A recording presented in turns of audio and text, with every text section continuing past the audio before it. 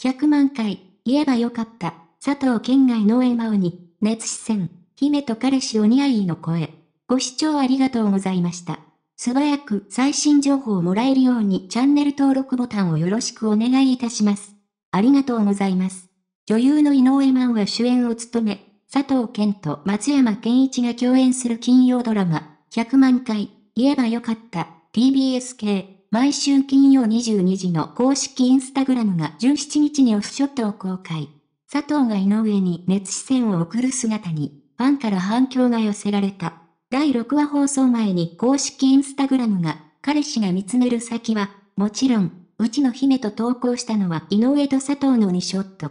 写真には、椅子に腰掛ける井上の隣から、彼女をまっすぐに見つめる佐藤の姿が収められている。投稿の中ではこの写真について、つい先日のロケでの一コマと明かされていて、撮影のカットがかかり、一息つく姫に向ける彼氏のなんとも熱い視線と説明されている。ドラマの中で、井上演じるウイと佐藤扮する直樹は恋人同士という関係。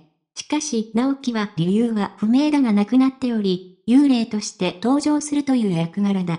横顔を見せる井上と、彼女に熱視線を送る佐藤のオフショットに、ファンからは、姫と彼氏お似合いだな。お二人がすごくお似合いすぎる。自然すぎる二人の間柄にキュン。もっとお二人のオフショットくださいなどの声が集まっている。引用、ドラマ、100万回、言えばよかった。インスタグラム、アットマークハイヤカマンキャイ、TVs。